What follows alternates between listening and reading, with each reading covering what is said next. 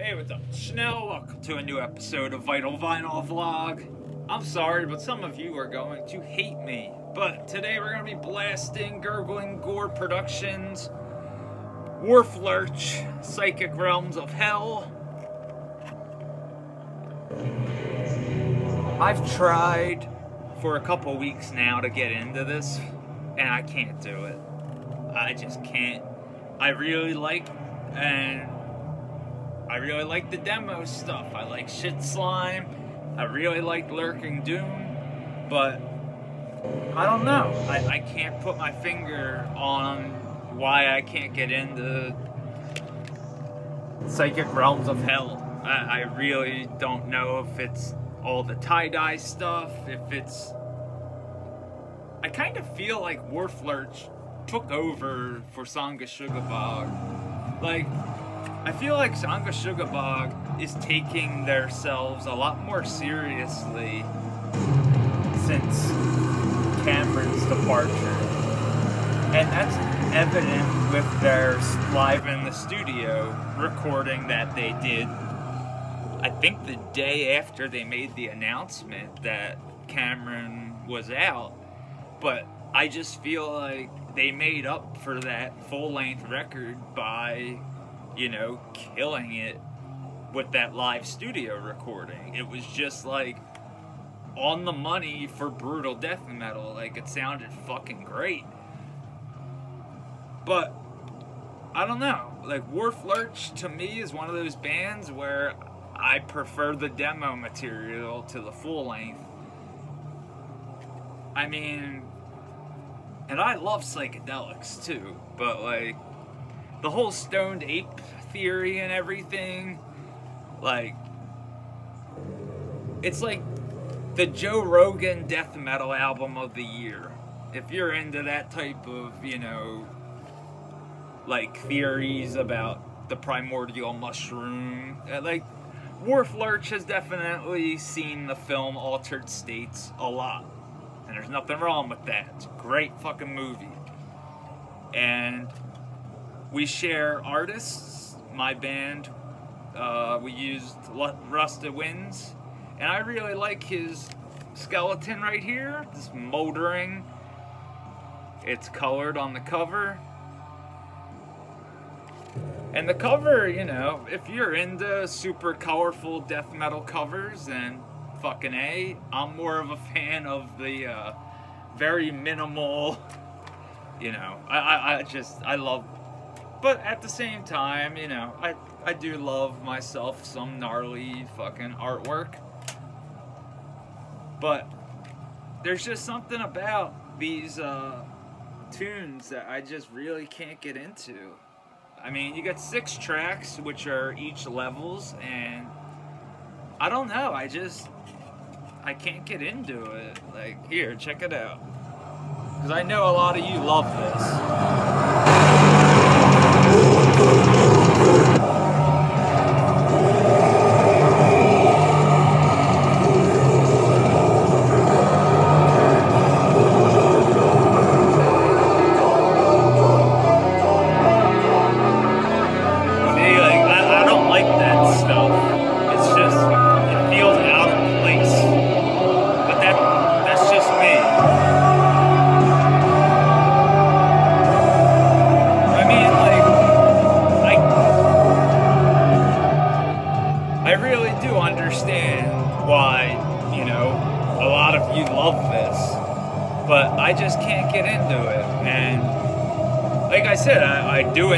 Demos, but the full length Psychedelic Realms of Hell, I would, it's mediocre in my opinion.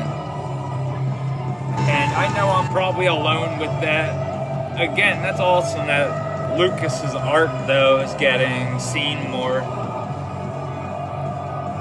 But when it comes to Psychedelic Realms of Hell, I just yeah, I can't really get into it. And, you know, it's just one of those releases that everybody's like, dude, like, how come you can't get into it? I, I, I really don't know. I, I, I just don't.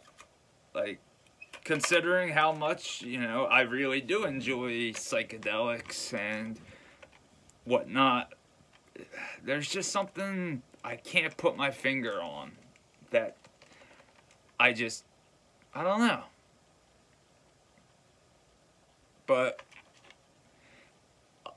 as I've said before, I already know a lot of you love this band, love this album, and I do understand why, but it just kind of went over my head, and you know, it is what it is, but like I said, I'm sure a lot of you will like this and be like, why the fuck, like, like what, why, why aren't you into it?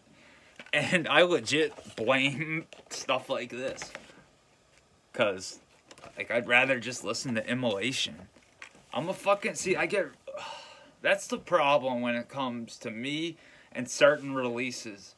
Cause, like, legit, I'll just be like, ah, like, I want to listen to Failure for the Gods. Like, I just, Failure for Gods, like, I just, I don't know, I'm weird like that. Like, I'll go to put something on and then remember, like, oh yeah, you have like a fucking immolation box set. But, like, I've had this for about a month now. And I've tried multiple times to get into it, and I just can't. And, um, you know, like I said, some of you will definitely and already love Psychedelic Realms of Hell, but I just couldn't get into it. I prefer the demo material just a little bit more just because I just liked the way it sounded and you know it was just kind of minimal with the art and it was just like fucking sick. But I feel like this is just super busy. There's a lot going on and it's all in the name of being psychedelic and like weird and trying to not sound like your stereotypical 2021 death metal band but i feel like it's pretty you know on point of what is 2021 american death metal. And to me it's kind of you know when it comes to the merchandise and cosmetic side of things, what I don't like about current death metal. Glow in the dark merchandise, glow in the dark t-shirts, just it hurts my head. Now, I'm guilty of owning a tie-dye metal t-shirt, but it was in 2004, 2005 and it was a, a Life Once Lost Riffs and Spliffs t-shirt. And uh, I always felt weird wearing it because, like, I wasn't a hippie, but yeah, I mean, I get why a lot of you younger kids also really, you know, enjoy Wharf, Wharflurch. They have a heavy social media presence. Uh, but to me, it's all about the music, and it just I don't know. I, I just can't. I, I can't figure it out. Like, there's just something about it that just doesn't flip that switch that makes me be like, fuck yeah. And, you know, it is what it is. But, Wharflurch again, I apologize, but I could just not get into psychic, psychedelic realms of hell. And they spelled of OV, which I fucking hate. I can't stand that, but it's, it's a minor, minor thing. It's no big deal. But, yeah, you know, if you're about the mighty mushroom and you want some cool lyrics about like, you know, mushrooms and death and going into psychedelic hell, it's worth your time, I'd say. But I just couldn't get into it musically. I don't know if it was the production, I, I don't know what it was, but there was something about it I just wasn't feeling. So I apologize, folks, but I could not get into some of your favorite tunes, which happens to be Wharflurch, Psychedelic Realms of Hell on Gurgling Gore. Thank you, Big Daddy Gore, for sending this my way. I just, I couldn't get into it. And I've been, you know, kind of like I said, on a brutal death metal kick. But, like, it's, it has nothing to do with that. I just, because, you know, I was listening, I'm seeing Blood Incantation tonight, so I was being a nerd and listening to Starspawn. And I was like, you know what? I'm gonna listen to this again after listening to Starspawn, which was probably a bad idea, because I was like, you know, to me, if I'm gonna eat some mushrooms and listen to some tunes, yo, I'm listening to Blood Incantations fucking catalog. Like, it's just, it's a no-brainer to me. Like, that's just, like, fucking A. But this, I feel like it's kind of trying too hard to send you down that route to where like you know please don't take like cough medicine and try and you know trip out and enjoy this be safe do shit the right way like especially if you're gonna fuck around with you know the mighty psilocybin mushroom. It's not something to be played with. It is, you know, you might think of it as a joke, like, oh, dude, I'm tripping ball. No, it's a fucking, like, it's something that should be respected, should be treated with the utmost fucking respect. It's the legit, like, the, the fungus and the psilocybin that lies within that unleashes that feeling of experience, enlightenment, and terror at times. It all depends. Set and setting is very important. And again, some of you might be like, what the fuck are you talking about? What does that have to do with Worth, Wharflurch? Well, like I said, to me this is kind of like, hey, eat mushrooms.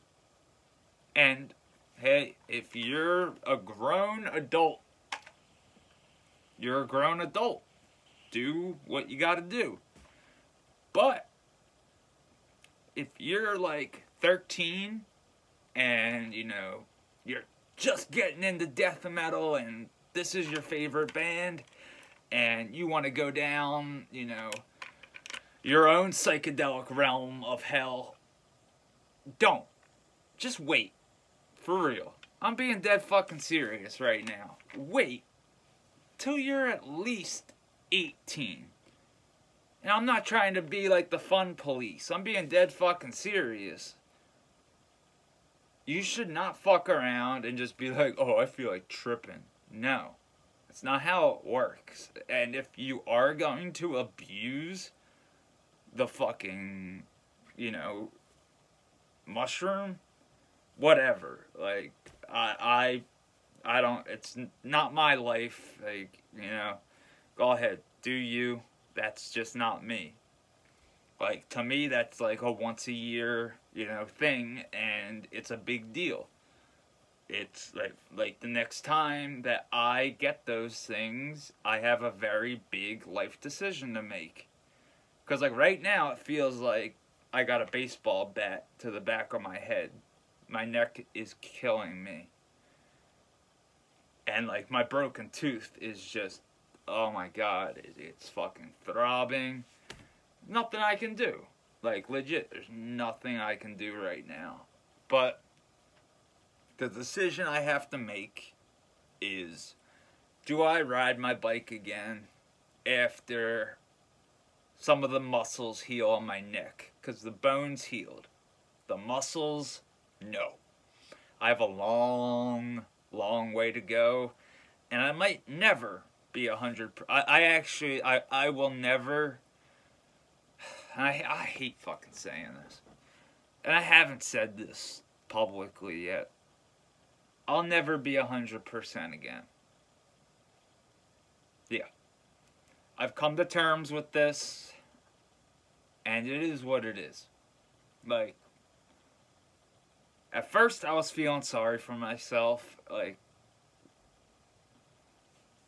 Because imagine doing something and having it kind of dictate where you are just in life, period. Like, my whole, well, since fifth grade, everything has been about riding bikes.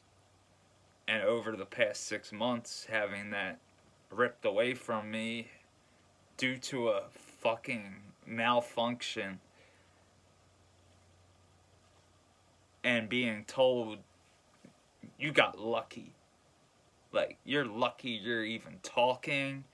You're lucky you're alive. You're lucky you can move. And yes, I am. I'm lucky I was wearing a helmet. But one more head injury and show's over. I was told if I and like this also has to do with shows. I have to be extremely careful like at tonight's show. I mean, nobody's dumb enough to be crowd surfing or stage diving during blood incantation, I hope. But, you know, I'm gonna see if I can maybe stand behind the merch table just to be safe. Because last time, I mean, we were in a massive fucking room at the Decibel Metal and Beer Fest. So, like, and I have my neck brace. I'm gonna wear my neck brace tonight just so people know. Please don't fucking touch me. Like, like I'm still hurt. You have, to, like, you gotta leave me alone. So, if you see me tonight, I'm prob I'm going to have my neck brace on. I will not share weed with you. I apologize. I do not share joints, blunts, bongs, bowls. No. It's 2021. We can't be doing that shit anymore with, you know, everything that's going on. So don't be fucking stupid. Don't be sharing blunts with some, you know, crew you never met from New York just because you don't have weed today. Don't. It's fucking like seriously, you're just you're just taking a stupid risk. But yeah. When it comes back to the release at hand, Wharflurch Psychedelic Realms of Hell, you know, you get some doomy, weird, psychedelic death metal that I know some of you will definitely enjoy it just, you know, went over my head a little bit, and which is strange because I really love, you know, for example, Pink Floyd Echoes. I love Tangerine Dream. You know, I love some weird, like, fucking Sant early Santana. I love that shit. But, I don't know. I just couldn't get into the psychedelic aspects of Wharflurch it just felt like it wasn't organic. It felt like it was kind of, hey, let's make this as weird as possible. And there's nothing wrong with that. But especially in death metal, we need shit like that. But it just, I don't know. It doesn't do anything for me on a personal level. And, you know, that's it. I don't have anything else to say. I'm sorry I rambled. Once I started talking about my neck, I, I just, I, I got all serious and I apologize. I've just, I, I'm in a lot of pain right now. Like, legit. I had a rough sleep. And it, it really does. It feels like somebody hit me with a baseball bat, like, right here and it sucks. Like it, it fucking hurts. and you could feel like I it's it sucks. That's all I'm gonna say. It fucking sucks. But yeah, I I just couldn't get into psychedelic realms of hell, gurgling gore, but you know I do know this is some of your album of the year, so I do get why some of you like it, but I don't know if it's because I'm a fucking geezer, but it just went over my head and I just went back to listening to Immolation. So, sorry. I tried, but thank you again to Gurgling Gore and thank you for watching. You fucking rule.